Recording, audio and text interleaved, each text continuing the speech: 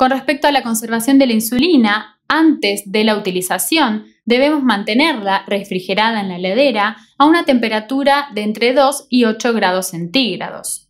Es importante siempre revisar la fecha de vencimiento de la misma y no debemos congelar la insulina, es decir, no debemos colocarla en freezer, congelador ni tampoco en contacto directo con hielo.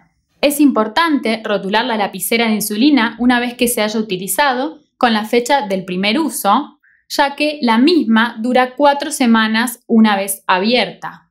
Durante la utilización, una vez abierta y colocada la primera aguja, no es necesario refrigerarla, puede ser mantenida a temperatura ambiente entre 15 y 30 grados centígrados. Como habíamos dicho previamente, la duración una vez abierta es de cuatro semanas y es importante protegerla del calor excesivo o la luz solar directa.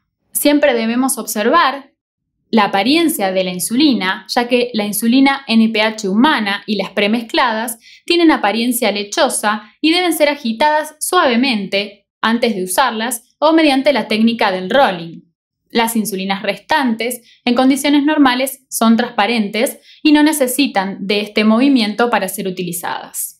Si la insulina forma grumos o se pega al envase, no debe ser utilizada de ninguna manera es importante tener en cuenta cuáles son los consejos que debemos dar a los pacientes ante los viajes y principalmente ante los viajes en avión.